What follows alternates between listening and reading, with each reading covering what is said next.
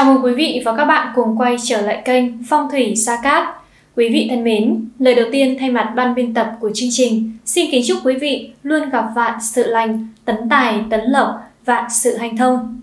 Thưa quý vị, vào năm ngày đầu tháng 1 âm lịch, năm con giáp này sẽ vô cùng may mắn. Vào ngày này, các bạn sẽ được thần tài gõ cửa, vận đỏ như son, làm bất cứ công việc gì cũng sẽ được suôn sẻ và thuận lợi. Vào buổi sáng, chỉ cần bạn mở cửa phòng là căn phòng của bạn đã ngập tràn sự may mắn. Bước chân ra đường, vận may sẽ bủa vây xung quanh bạn. Bởi vậy ngày hôm nay, bạn sẽ rất dễ nhận được những khoản tiền bất ngờ từ trên trời rơi xuống. Các bạn hãy hoan hỉ đón nhận tài lộc nhé! Tuổi Sửu vào những ngày đầu năm mới, vận khí của người tuổi Sửu vô cùng vượng phát. Sự nghiệp có bước tiến quan trọng như may mắn gặp được người giúp đỡ, hướng dẫn đi đúng hướng. Tận dụng được thời cơ này nên bản mệnh đã nắm bắt được những gì có lợi cho mình, đạt được thành tựu đáng kể. Vận trình tài lộc cũng đang trên đà thăng tiến, dù là người làm công ăn lương hay buôn bán kinh doanh cũng có phúc lộc lá về tay, tiền tiêu rủng rỉnh, không lo thiếu thốn. Nhưng bạn vẫn nên chi tiêu có kế hoạch nhé, không nên phung phí kẻo khi tung thiếu lại trắng tay.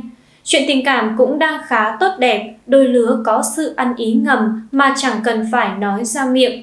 Giữa hai người không còn tồn tại bất cứ bí mật gì, luôn thoải mái chia sẻ và tâm sự với nhau về những niềm vui, nỗi buồn trong cuộc sống. Sức khỏe luôn là điểm khiến con giáp này lo lắng. Bạn sụt sùi suốt cả mùa đông do nhiễm lạnh và tình hình tiếp tục chuyển biến xấu hơn. Nên tăng cường vận động để nâng cao thể trạng, cải thiện sức đề kháng, khỏe từ bên trong thì các triệu chứng sẽ dần giảm bớt và không dễ bị tấn công từ bên ngoài. Người tuổi Sửu nên sử dụng vật phẩm phong thủy, linh phù giải hạn để hóa giải vận hạn, kích hoạt tài lộc, cầu may mắn, bình an, đồng thời đem đến năng lượng tích cực trong cuộc sống. Linh phù đã được khai quang, trì chú và xem ngày giờ sử dụng với tuổi của gia chủ nên bạn hoàn toàn yên tâm, chắc chắn sẽ đem lại hiệu quả. Tuổi Mão với tuổi mão, các tinh chiếu mệnh báo hiệu những ngày làm việc ổn định và có thể thu được thành tích cao với con giáp này. Nếu đang làm công việc hành chính, bạn có cơ hội được đi công tác, hội thảo, trao dồi chuyên môn, tạo quan hệ xã giao và thêm các mối quan hệ hữu ích. Tài lộc trong ngày này không có gì phải lo lắng, cả nguồn thu chính và thu phụ đều ổn, đảm bảo cho bạn cuộc sống đủ ăn đủ tiêu. Nếu tuổi mão muốn bứt phá thì cần phải có kế hoạch dài hơi và cố gắng nỗ lực nhiều hơn nữa chứ không thể mãi an nhàn như hiện tại. Phương diện tình duyên cũng khá tốt trong những ngày này, người độc thân có thể sẽ có cơ hội phát triển từ một mối quan hệ tình bạn thành tình yêu. Cả hai đã có sẵn sự tin tưởng dành cho nhau nên tình cảm tiến triển khá nhanh. Nếu bạn cũng cảm thấy thoải mái với đối phương thì hãy thử mở lòng mình đi nhé. Tuy nhiên, sức khỏe có phần đi xuống, dễ gặp các triệu chứng như là đau nhức xương khớp, tê chân, chuột rút bất ngờ. Do bạn thiếu vận động, cộng thêm thời tiết lạnh lẽo như vậy. Ngoài việc giữ ấm cơ thể thì nên rèn luyện thường xuyên để tăng cường thể trạng, hạn chế bệnh tật, nâng cao thể lực. Và để được may mắn hơn trong thời gian này, những gia chủ tuổi mão cần luôn mang theo bên mình vòng tam hợp quý nhân hợi mão mùi để trợ mệnh, hộ thân, giúp thân mệnh vững chắc, chiêu mời quý nhân giúp đỡ, hóa giải những vận hạn đen đủi, từ đó giúp gia chủ thâu thu tài lộc, may mắn và bình an. Tuổi Tỵ. Tuần mới của người tuổi Tỵ khá sáng sủa với nhiều niềm vui, có ấn tinh tọa mệnh thúc đẩy công việc, sự nghiệp, tinh thần làm việc cũng hăng say, tràn đầy nhiệt huyết, cùng năng lực sáng tạo và khả năng phân tích vấn đề nhạy bén, giúp con giáp này chiếm được thành tích đáng kể, không lo bị lép vế so với người khác trong cuộc cạnh tranh quyết liệt đầu năm mới. Tài chính không có mức thừa thãi nhưng đủ để bạn thoải mái chi tiêu, tận hưởng những thú vui cá nhân.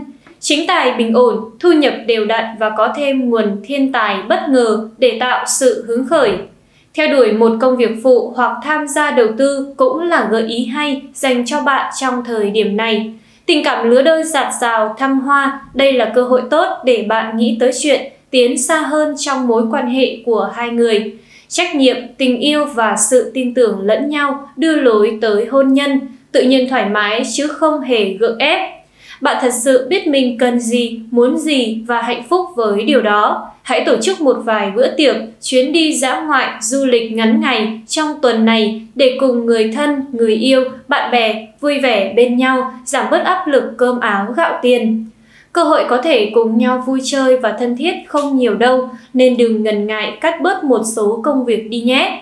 Để được may mắn hơn trong thời gian này, những gia chủ tuổi tỵ cần luôn mang theo bên mình vòng tam hợp quý nhân tỵ dậu sửu để trợ mệnh, hộ thân, giúp thân mệnh vững chắc, chiêu mời quý nhân giúp đỡ, hóa giải những vận hạn đen đủi, từ đó giúp gia chủ thâu thu tài lộc, may mắn và bình an. Tuổi mùi nhiều các tinh xuất hiện trong tử vi những ngày này của tuổi mùi là tín hiệu đáng mừng cho những nỗ lực suốt thời gian qua của bản mệnh. Ngày này, những kế hoạch, dự định của bạn đều báo tin vui về, đem tới cho con giáp sự phấn khởi và hăng hái hơn hẳn thường ngày. Nhân đàn này, người tuổi mùi nên tận dụng lợi thế sẵn có để tính những bước tiến xa hơn nữa. Đừng quên bên cạnh bạn luôn có những người chiến hữu nhiệt tình và đáng tin cậy, luôn sẵn sàng san sẻ mọi gánh nặng với bạn. Nếu gặp khó khăn, hãy chia sẻ với mọi người. Cát tinh giúp người tuổi mùi xây dựng những mối quan hệ xã giao hài hòa. Đây chính là thời điểm thích hợp để bạn làm quen với những đối tác triển vọng, mạnh dạn ký kết hợp đồng hoặc mở rộng mạng lưới kinh doanh của mình. Đào hoa vượng báo hiệu tình yêu đôi lứa vô cùng hạnh phúc. Bạn và người ấy rất tâm đầu ý hợp. Người ấy luôn là điểm tựa vững chắc cho bạn trong cả hiện tại và tương lai. Tình yêu ngọt ngào hiện tại tạo ra nguồn động viên rất lớn cho cả hai.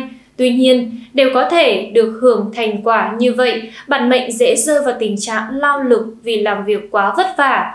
Bạn cần phải cân đối giữa sự nghiệp và cuộc sống, không nên khiến cơ thể mỏi mệt, kiệt sức quá. Người tuổi mùi nên sử dụng vật phẩm phong thủy, linh phù giải hạn để hóa giải vận hạn, kích hoạt tài lộc, cầu may mắn, bình an, đồng thời đem đến năng lượng tích cực trong cuộc sống. Linh phù đã được khai quang, trì chú và xem ngày giờ sử dụng với tuổi của gia chủ nên bạn hoàn toàn yên tâm, chắc chắn sẽ đem lại hiệu quả. Tuổi hợi Tử vi tuần này, cát tinh đem tới cho người tuổi hợi một tuần làm việc hiệu quả, vạn sự thuận buồm xuôi gió, cát khí che chở, báo hiệu nhiều tin vui về tài lộc, nhất là những ai làm trong lĩnh vực kinh doanh, buôn bán sẽ mua may bán đắt, thu về lợi nhuận cao.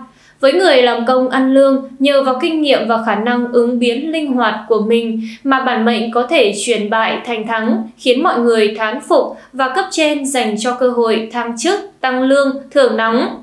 Nếu theo nghiệp làm ăn buôn bán, bạn cũng có một túi tiền dùng rỉnh do đã mở rộng thị trường thành công. Dù hơi vất vả một chút, song bạn cũng có một lượng khách hàng ngày càng đông đúc và ổn định, đem về khoản tiền lời lãi gia tăng.